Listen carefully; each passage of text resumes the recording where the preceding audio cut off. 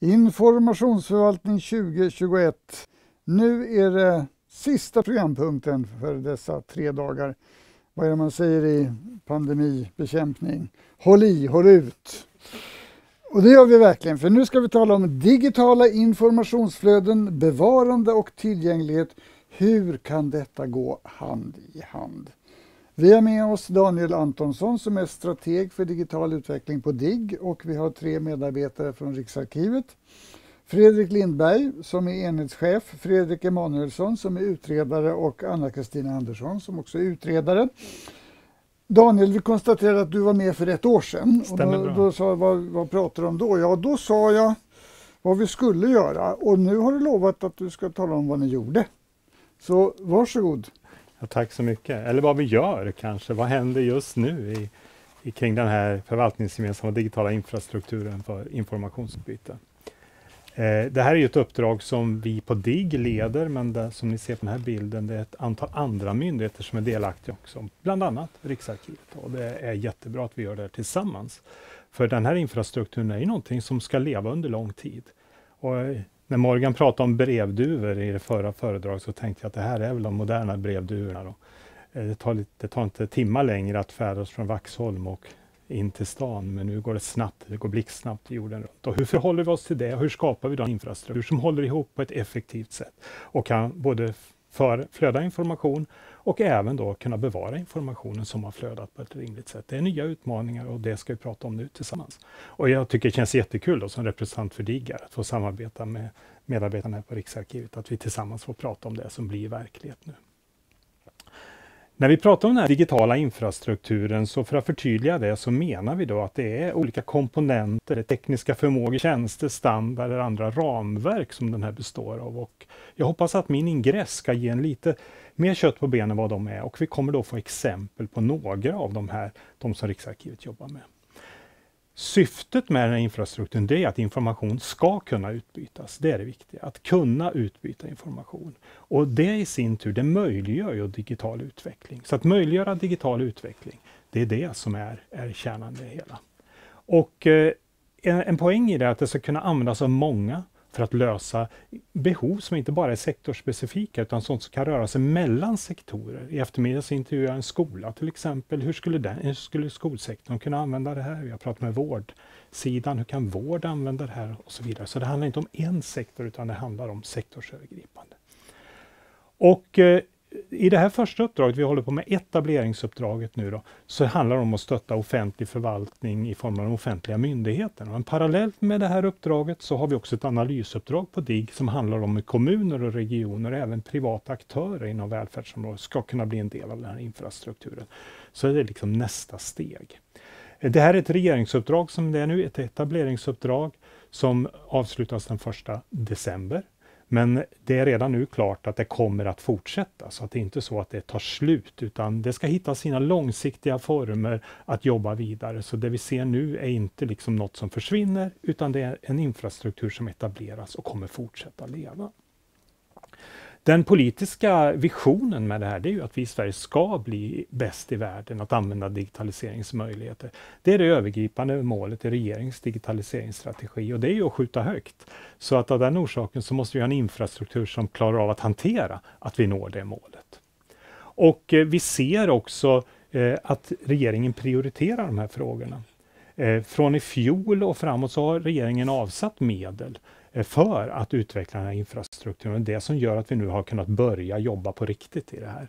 Och eh, i den budgetpropp som ligger nu, nu vet vi inte om den antas av riksdagen eller inte, men om den antas så handlar det om i storleksordningen en halv miljard under den närmaste treårsperioden, alltså drygt 500 000 miljoner, för att eh, kunna, 500 miljoner, förlåt mig, för att utveckla det här eh, under den närmaste treårsperioden. Och det är DIGG som eh, får de medlen, men det är konstruerat på ett sådant sätt att vi kan dela de här medlen vidare till andra myndigheter som tar ansvar för delar av infrastrukturen. Och det som är vad vi håller på med nu, det är att etablera den här hållbarheten i den här infrastrukturen. Det ska inte vara någonting som är, som är kortsiktigt, utan det ska vara hållbart. Och nyckelorden ska vara enkelt, effektivt och säkert att använda. Det är de nyckelord vi jobbar efter. Om vi tittar i det läget, jag tror jag visade de här bilderna för ett år sedan också, så finns det ju redan idag infrastrukturer. De hänger ihop sektorsvis riktigt bra, men att, hålla, med att utbyta information mellan sektorerna, det är inte alltid så enkelt. Och det vi ser framför oss nu då, det är den här, ett gemensamt och effektivt sätt att utbyta digital information. Och för er som jobbar med arkivfrågor så är det här en sak som blir enklare att jobba med bevarande om det är enhetligt och gemensamt. För då kan man hitta modeller och metoder för en sektor som är tillämpbara i en annan också.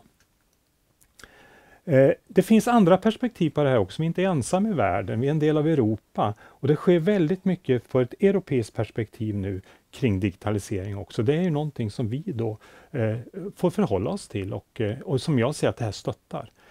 Jag vet inte om ni har följt det, men Single Digital Gateway är en sak som är på väg i Europa, där det finns ett antal utpekade livshändelser som man ska kunna gå in på My Europe, en portal, och kunna oavsett vilket land man ska göra det här i, man vill flytta eller man ska starta ett företag eller någonting, så ska man kunna hitta den guidade informationen i andra EU-länder.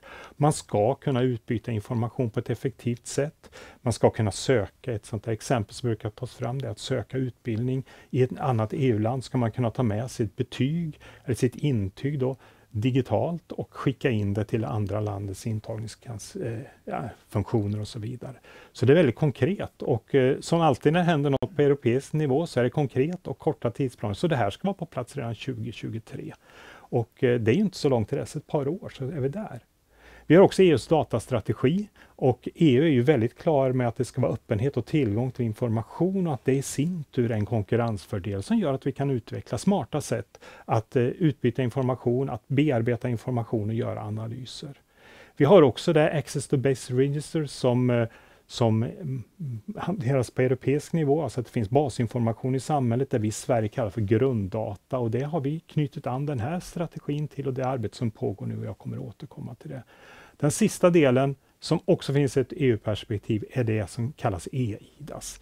Att en europeisk en identitet ska kunna fungera tvärs landsgränserna. Och vi är i ett läge nu att Sverige har en så kallad eIDAS-nod som kopplar mot Europa och vi har fått den godkänd från våra eh, vänner i Europa nu och så nu handlar det om att knyta an de identitets Eh, Eh, system som finns i Sverige, EFOS eller BankID och så vidare, mot den här noden och på det sättet kunna fungera digitalt i Europa, ha en digital identitet.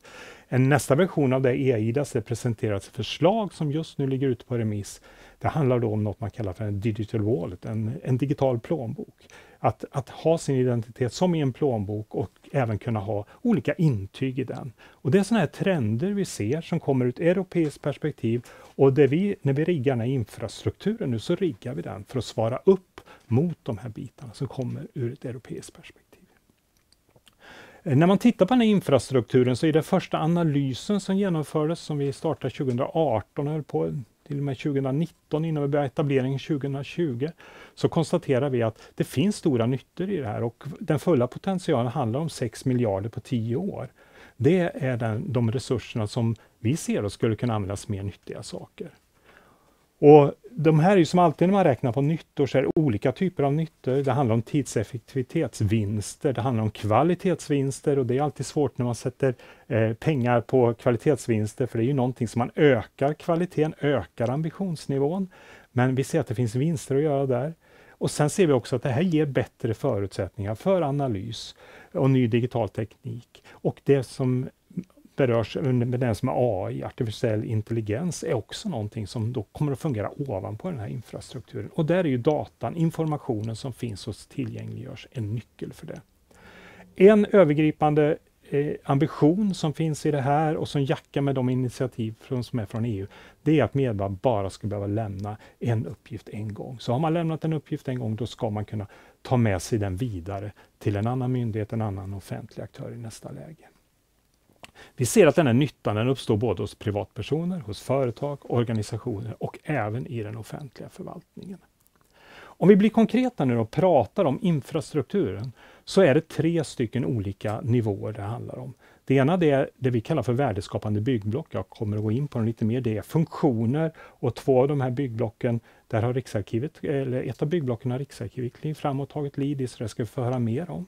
Vi har det som ett nationell grunddata information som är då grundläggande information i samhället och sen har vi då en struktur för styrning där det också finns en pusselbit som Riksarkivet har klivit fram och tar ansvar för. Eh, om vi tittar på den här bilden som beskriver strukturen, hur det här styrs, så den översta delen så kan vi säga de kompetensområden som är till vänster, det är som en stabsfunktion som innehåller olika funktioner då, att stötta den som är infrastrukturansvarig, som är DIGG, Och ett av dem, det är kompetensområdet arkiv, som Riksarkivet har tagit eh, lid i. Sen har vi då eh, samordningsforum och samverkansforum. Och de forumen, det handlar om de som är aktiva i den här, som tar ansvar för något av byggblocken här nere, någon av grunddatadomänerna, för att vi ska kunna synka det här på ett effektivt sätt och kunna få en framdrift. Och tittar man då på eh, detaljerna i det här så ser ni att här finns då de byggblock eh, benämnda som är, jag tänker inte gå in på varenda ett, men eh, exempel på byggblock som idag är i drift, då, det är digital post, det som är mina meddelanden, identitetsbyggblocket, där eh, flera av er har säkert någon form av digital identitet, exempelvis BankID som vi använder. Och om vi tar covidbevis som ett exempel, då, så orsaken till att vi i Sverige snabbt kunde få upp covidbevis, det var att de här två byggblocken finns i funktion. Så att direkt när det kom så började vi använda de två byggblocken för att kunna eh, realisera covidbevisen. Eh, de två som jag tänkte vi skulle ta lite extra djupdykning i nu tillsammans med Riksarkivet, det är då metadatahanteringen som ett byggblock som är i en analysfas som Riksarkivet leder och det är det kompetensområdet som ni ser nere som handlar om arkiv.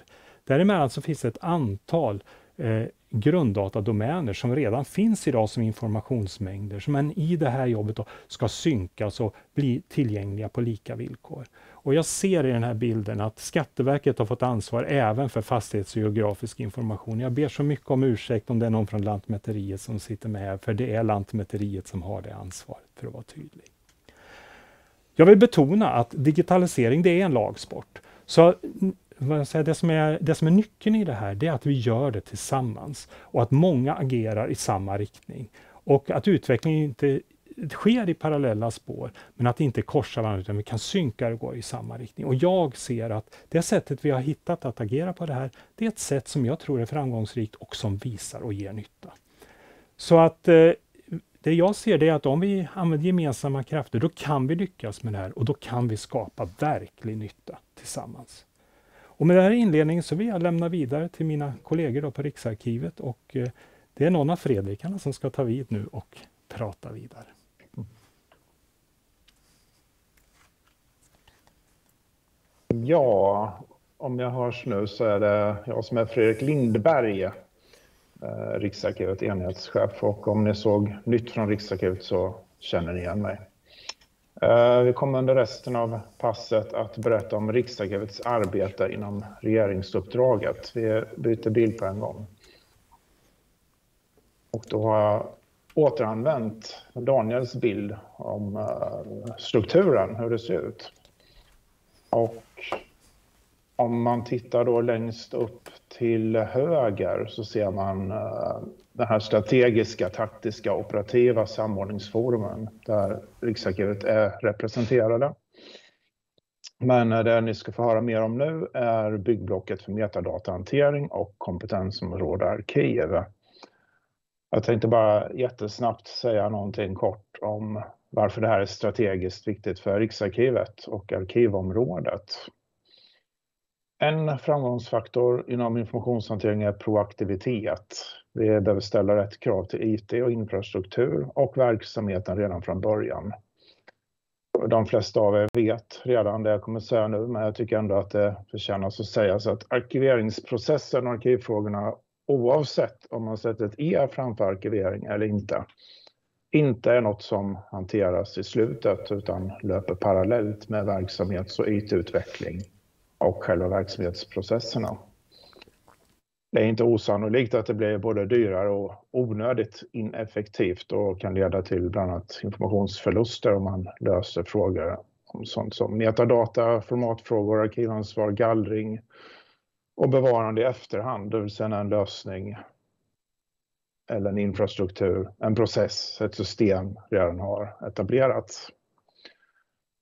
En annan framgångsfaktor rent generellt tänker jag är att ta ett helhetsgrepp på informationshanteringen, informationsförvaltningen och informationsförsörjningen och som Daniel var inne på, samarbeta och samverka. Inse att vi har gemensamma intressen, både inom regeringsuppdraget, mellan myndigheter med sina olika uppdrag och kompetenser, inom offentlig sektor men även inom olika yrkeskompetensområden som, som vi ser av bilden, till exempel arkiv, juridik, informationssäkerhet och skydd av personuppgifter. Jag tyckte det var bra, som Daniel sa och visar på bild där, att eh, för att lyckas måste vi göra det tillsammans, att det är en lagsport. Nu lämnar jag över till min namne Fredrik som kommer att berätta om byggblocket metadatahantering. Varsågod. Ja, eh, Fredrik Emanuelsson heter jag och eh, jag är ju ny på Riksarkivet sedan några veckor och även i infrastrukturen. Eh, jag har en bakgrund som verksamhetsarkitekt eh, inom IT och eh, byggblocket är ju i analysfasen. Eh, jag kommer att analysera och planera och realisera det här byggblocket. Nästa bild tack. Byggblocket ska utveckla en nationellt samordnad och eh, kvalitetssäkrad metadatahantering eh, för enklare användning och automatisering. Nästa bild tack. Jag har tagit med en eh, bild ifrån det här initiativet som Daniel nämnde, Single Digital Gateway och där finns en vision om en single point, en singelpunkt som man kan Eh, Eh, få reda på saker. Jag tycker det här liknar mycket Google om man tänker sig att eh, man ska kunna söka och hitta information eh, enkelt och det här ställer en del krav på hur det här fungerar då för att den här informationen den finns ju utspritt över hela Europa. Man tänker att man ska kunna hitta ifrån de här olika platserna i Europa information via den här då. Nästa bild tack. Eh, den här informationen den kan ju ligga eh, på en mängd olika format. Här ser vi några exempel. Det kan vara Excel-filer, det kan vara Word-dokument, det kan vara PDF-dokument och det här leder ju till ett problem. Eh, det är ju att vi får ju ett krav här på standardiserat metadata för att det räcker ju inte att publicera de här dokumenten på webben med en webbsida som pdf-dokument utan det här ska ju gå maskinläsbart omedelbart i realtid eh, ska kunna överföras till den här singelpunkten då som, som visar i förra bilden. Så här måste man ju bestämma sig hur det ska fungera. Eh, och det måste man komma överens om då eh, för att det ska fungera på ett bra sätt. Nästa bild tack. Vad är då metadata? Ja, metadatat är lika viktigt som själva datat. Tänk exempelvis på en teckenkombination 60 01 15 eller NKW112. Ingen av dem betyder något utan att beskriva vad det första är ett personnummer och det andra är ett registreringsnummer. Det är metadatat som beskriver vad datat är för något. Nästa bild tack. Eh, det här med begrepp, vi måste hitta ett bra sätt att jobba med de här begreppen. Eh, kommer ju att växa i storlek eh, så att där måste vi samarbeta eh, för att komma vidare för att hitta bra system och metoder för att hantera de här begreppen. Nästa bild. Samma sak gäller då termerna. Det är ju ordlistor. Vi måste hitta effektiva sätt att hantera de här termerna i de här begreppsmodellerna så det måste vi göra tillsammans. Nästa bild. Eh, ja, aktiviteter då. Ja, vi ska ju ta fram definitioner på metadata och det ska vi göra i nationell samverkan. Vi ska ju fastslå och publicera resultat. Nästa bild. Omfattningen är ju stor och i första hand så fokuserar vi ju på Eh, Eh, den här nationella svenska nivån och vi ska försöka hitta då en minsta gemensamma nämnare för de här svenska behoven. Men vi måste ju också förhålla oss till EU och eh, då är ju de här olika standarden väldigt viktiga att förhålla sig till och anpassa sig till. Sen har vi den här lokala nivån också och i det fallet tänker jag på de olika förvaltningarna eh, som vi ska vägleda så småningom. Nästa bild. Och I den här färdplanen eh, så fokuserar vi då till en början på ge stöd eh, till producenter av metadata. Och vi måste ju då hitta samarbetsformer mellan myndigheter. Och så kontinuerligt så bygger vi ut eh, det här stödet för de här producenterna och hitta möjliga metadataprojekt. Senare så ska vi ju även stödja konsumenterna av metadata, hur de kan använda Eh, det på ett bra sätt. Så vi måste ju bygga upp en förvaltning och utvecklingsorganisation för det här. Och det ska ju leda sen då att vi ska få fram det här ramverket eh, som är målet för byggblock metadata i en första version. Och eh, vi har ju sett också att det här att jobba i community, det kan vara smart under den här utvecklingstiden. Nästa bild, tack.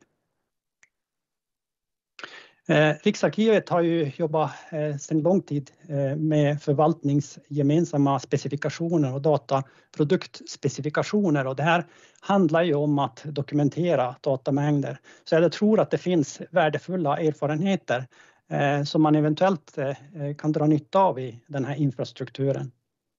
Nästa bild. Ja, det är ju de här metadatabegreppen och det finns ju mycket principer och arbeten som är gjort eh, sedan tidigare så det ska vi fördjupa oss i eh, så vi kan dra lärdomar av de här bitarna. Så att det här med kunskapsdelning, eh, det blir nog en viktig sak framöver i, i infrastrukturen. Nästa bild. Ja, tack så mycket, det var allt för min del. Ja, hej. Eh, Anna-Kristina heter jag och jobbar som utredare på enheten för utredning och utveckling. Och sedan i eh, våras så har jag deltagit i arbetet med olika kompetensområden. Och i somras så beslutade man om att införa ett kompetensområde för arkiv. Och det har, jobbet har jag nu intensifierat. Eh, kompetensområden är eh, en del av den här strukturen för styrning som både Daniel och Fredrik eh, har visat bilder på den här modellen över eh, infrastrukturen. Ehm, och de utgörs av samarbetsgrupper inom olika områden som ska ge kunskap inom sitt område till byggblocken och grunddatadomänerna, eller alla de som deltar i arbetet med FDI. Och nu använder jag just FDI, men eh, infrastrukturen kommer förmodligen få eh, ett annan benämning så småningom. Eh, och eh, i nuläget så finns det ju då fem områden. Eh, arkitektur, arkiv, data, juridik och säkerhet. Och varje område leds av en ansvarig myndighet. Och det leder då arbetet för arkitektur, data och nej, förlåt, juridik och MSB leder arbetet med informationssäkerhet och vi har då arbetat med arkiv. Jag kan också säga att eh, kompetensområde data är indelat i två sakområden. Det ena är grunddata och det andra är öppna data. Och informationssäkerhet är också indelat i två sakområden. Det ena är eh, dataskydd och det andra är säkerhetsskydd.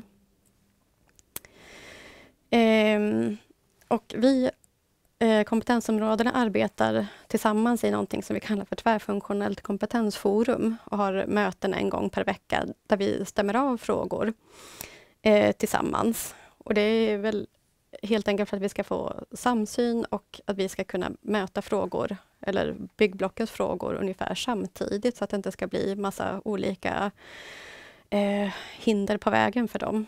Utan vi ska försöka stämma av dem gemensamt. Eh, lite grann om vad kompetensområde arkiv ska göra. Jo, det är ju precis som är kompetensområdenas uppgift, det är att ge stöd och vägledning och vi ska göra det i arkivfrågor till byggblocken och grunddatadomänerna. Vi skiljer oss kanske lite grann från de andra områdena i och med att vi har en lagstiftning eh, som eh, att utgå ifrån. Och syftet, eh, det är rödmarkerat här. Eh, det håller på att arbetas fram nu och ska stå i ett av de interna styrdokumenten till kompetensområdet. Eh, men det ser vi som att det handlar om att se till att arkivperspektivet beaktas i ett så tidigt skede som möjligt i utvecklingen av infrastrukturen, så att de allmänna handlingarna som bildas där kommer att tas tillvara på ett korrekt sätt. Och med korrekt sätt menar vi då utifrån de föreskrifter och bestämmelser som gäller. Eh, och hur arbetet ska gå till, det är att ta fram olika styr och stöddokument såsom policies och checklistor, ha informationstillfällen med mera för att eh, föra ut arkivbudskapet.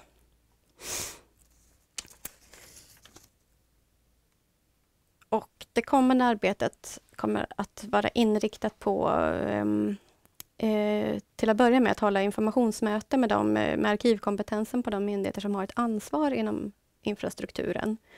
Och det är till exempel om man har ansvar för ett byggblock eller en grunddatadomän eller ett kompetensområde. Och framöver så tänker jag väl även att eh, eh Samrådsgruppen för kommunala arkivfrågor och någon representant för Falk kan vara intressant att bjuda in för att få både det regionala och kommunala perspektivet. Ehm, och eh, kompetensområdena tror jag... Vi, som sagt, vi skiljer oss ju olika både i vår, liksom, vad vi har bakom oss, att vi har lagstiftningen att falla tillbaka på, men också behovet av oss ser olika ut. Och jag tror att vi kommer behöva vara ganska aktiva själva och eh, analysera byggblocken och se därifrån vad är det för behov de har, att vi får hitta arkivperspektivet åt dem vi kan nog inte vänta på att de kommer till oss och ber om att få hjälp. Ehm, och det här kommer vi också då göra tillsammans inom Tvärfunktionellt kompetensforum, att, eh, att vi försöker ordna det här eh, gemensamt. Och det är någonting som ofta efterfrågas att vi ska göra om frågor om till exempel, eller att man upplever att frågor om dataskydd och arkivfrågor krockar. Och då har vi en väldigt bra, eh, ett bra forum här att jobba tillsammans i. Och en sak eh, som kanske också är viktig att lyfta, det är ju att eh, det vi jobbar med är ju bara frågor som gäller infrastrukturen, så det gäller ju inte digitalisering av förvaltningen i allmänhet, utan det är de här frågorna som rör eh, infrastrukturen. Eh, och vi siktar då som sagt på att se, se vilka behov som finns i de olika byggblocken eller hos de olika aktörerna inom infrastrukturen. Sen kommer det leda vidare till det vanliga traditionella arkivarbetet, att myndigheterna till exempel då, som bedöms ha ett ansvar, tar fram en gallringsutredning och framställer om till exempel gallring till Riksarkivet och motsvarande sätt på kommunsidan. Eh, ja, och det vi kommer göra då eh, framgent, det är att ta fram specifika och gemensamma styr och stöddokument det kan till exempel då vara någon form av allmän generell arkivpolicy som ska gälla för allt och alla med de här grundläggande bestämmelserna och vad man ska beakta. Men vi har också pratat om att ta fram en gemensam checklista tillsammans med eh, kompetensområde Infosäk så att vi ska kunna hantera frågor om informationsklassning och informationsvärdering liksom på ett bräde. Och eh, kompetensområde juridik har tagit upp en fråga om ansvar och den jobbar vi också tillsammans med utifrån dataskydd, säkerhetsskydd och arkivansvar.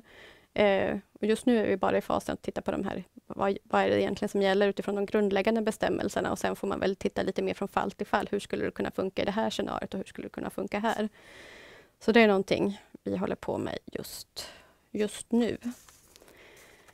Eh, ja.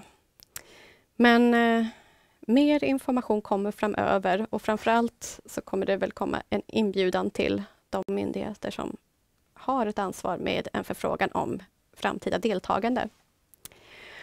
Och eh, för den som är intresserad eller vill göra något medskick till kompetensområdet så har ni min mejladress där.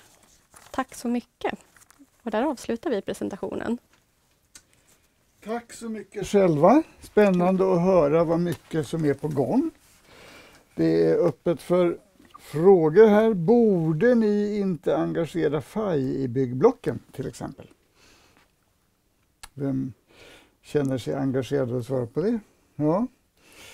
Vad säger Daniel? Vi, vi håller på, om man tar det generellt, det som gäller eh, hela infrastrukturen som helhet, om vi tar den bilden, så tittar vi just nu just på det vi kallar för samverkansrutan. Hur hittar vi lämpliga parter att samverka med? Och här finns det ju Eh, det finns ju olika önskemål om medverkan. Ibland är det ju att man helt enkelt bara vill höra vad som händer för att vara in, liksom informerad. Och det andra är att man aktivt vill bidra. Jag ser att det finns två olika delar där. Mm. Och jag tänker FAI har ju en tydlig koppling mot det som är arkivfrågorna, så det blir väl en sak som ni kikar på säkert där. Det jag tänkte jag kan skicka med där också inne på det att varje månad, första tisdagen i månaden mellan klockan 9 och 10 på morgonen så har vi ett informationsmöte kring vad som händer som sänds då på webben. Så att om ni inte har tillgång till det informationsmötet så kan ni skicka en, en mail till mig på daniel.antonsson.dig.se. Nu blir jag väl spammad då, men jag bjuder på den. Så ska jag se till att ni får inbjudan så kan ni få följa vad som händer successivt i det.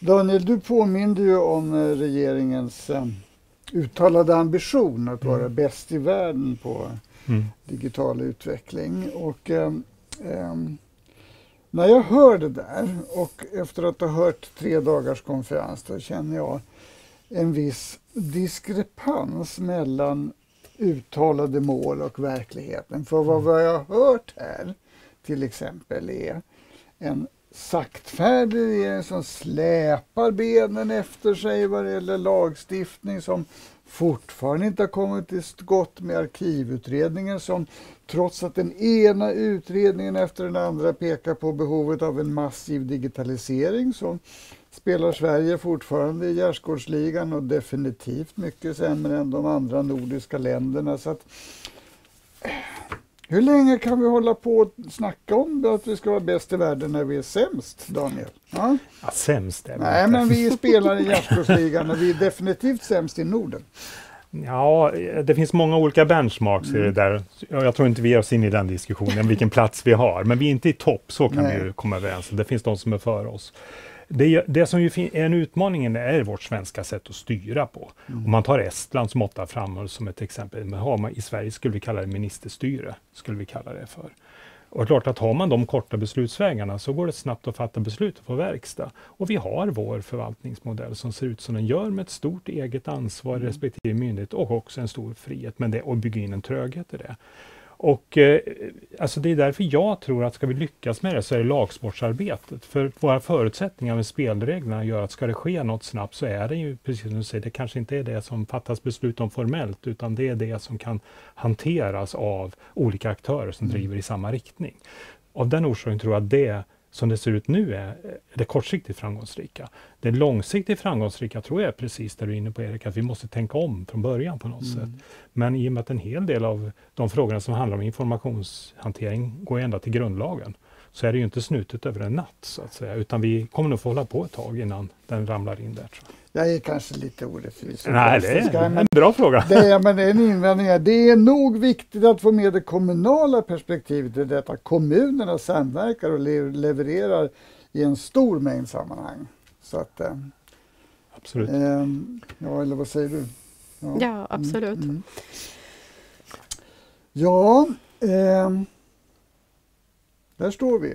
Och det finns väl anledning att komma tillbaka. Eh, Inga fler frågor från publiken. Jag har gjort min sura invändning om att vi kanske inte är världsbäst när vi borde vara det. Eh, men, men det är mycket som återstår. Mm. Men att, eh, Riksarkivet får väl i förhållande till behov sägas vara underfinansierat och det finns mm. mycket som behöver göras. Ehm, och det är ju klart det måste lösas mm. på en politisk nivå. Jag skulle kunna knyta an med en utmaning som knoppar just till kommunerna mm. som är väldigt reell nu och som kopplar till Single Digital Gateway. Och det är att eh, den 12 december 2023 då ska man kunna ansöka till ett, till ett universitet någon annanstans i Europa och ta med sig ett gymnasiebetyg digitalt. Där har vi en utmaning. Mm. För där är kommunerna arkivmyndigheter. Så på två år så måste vi komma till ett läge där varje kan ha ett signerat digitalt dokument och Roger var här och pratade om det. Så att vill ni bita i något tillsammans som kommuner så är det ett sätt, en bit att ta. Jag säger så här, vi i DIGG har lyft frågan för vi ser att det här kommer inte kunna lösas ja. på 290 ställen. Eh, på ett effektivt sätt, utan vi jobbar med den frågan. Så kommer ni i närheten av den, så kontakta oss i sådana fall, för det tror vi är en sak vi måste göra tillsammans eh, allihopa för att lyckas med den saken. Och då är vi inne på tillsammans. där. Det var ju, vi fick ju en riktigt entusiastisk presentation igår om förslaget om öppen betygsdokumentation i BEDA. Det blir jättemycket billigare och jättemycket bättre så det gäller mm. väl bara att skjuta. Det var ju ett, i högsta grad ett kommunalt mm. samarbetsförslag. Mm. Och det är där vi krokar i också, ska ja. säga. Det är BEDA som ja, vi ser som nyckeln. Gör någonting åt BEDA, billigare och bättre. Ja. Stort tack ska ni ha. Eh, klockan är kvart i fem. Eh, det är dags för mig att ta det fullkomligt orimliga och omöjliga uppdraget att sammanfatta tre dagars konferens. Eh, jag får börja med att tacka eh, alla som har följt detta. Under långa stunder har vi varit 300 som har följt överläggningarna, vilket är stort om man framförallt tänker sig alla 300 i en sal samtidigt. Det som saknas när vi har det digitalt på det här sättet är väl middagarna och pauserna när man träffar varandra. Så vi får hoppas att restriktionerna är lyfta nästa år. Tre fullmatade dagar plus en extra dags föreläsningar på nätet. De kommer att ligga kvar i tre månader för betalande konferensdeltagare. Gratis dock för studenter. Och från och med nästa vecka så kommer varje föreläsning att finnas klickbar för sig, inte så att man behöver spola igenom en hel dag. Vi har haft tre utställare, Axiell, Visma och Adda, som har eh, syns i pauserna och som också har eh, konferens, eller utställningsmaterial på nätet. Det är jättemånga som har varit med i kulisserna, som har jobbat, eh, plockat fram idéer till föreläsningar, plockat fram föreläsare. Ingen nämnd och ingen glömd, utom nämnd Katarina Ekelöf, FAIs ordförande, som har varit samordnare av allt detta, som har rattat det här i kulisserna som har gjort ett jättejobb tillsammans då med folk från andra på FAI och Falk och Riksarkivet för att det här ska bli av. Ska också nämna studioteamet här på Studio S19 på Söder, Swedenborgsgatan i Stockholm som har stått för ljud och bild. Nog så viktigt. Ja, hur sammanfattar man det här då på ett rimligt sätt? Jag, jag har plockat upp några ord och som flera av er har märkt de här dagarna så är det ju ett begrepp som har blivit väldigt förtjust i och det är ofrivillig gallring. Veckans understatement för, skulle man kunna säga, att när någonting riktigt går åt helvete och försvinner. Men gallring och ofrivillig gallring, men eh, vi ska väl helst ha planerad gallring och det har vi talat en hel del om. Vi har talat mycket om molnet, många aspekter på det. En av de mest intressanta är väl EU-domstolens dom för en, ett år sedan ungefär med eh, hur vi ska eh, skicka information eh, till molnet över Atlanten. Eh, många andra aspekter på molnet också.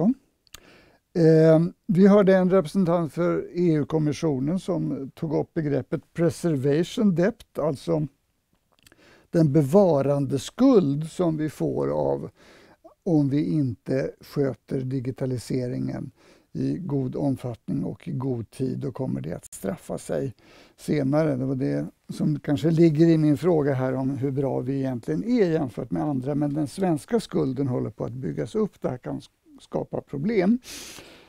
Riksarkivarien Karin Åström Mikko talar om arkivskuld som är en del av samma begreppsbildning. Det här kan komma att kosta. Vi hörde från Danmark att det kostar för organisationer och företag om man inte har, som man säger på danska, en ordentlig records management.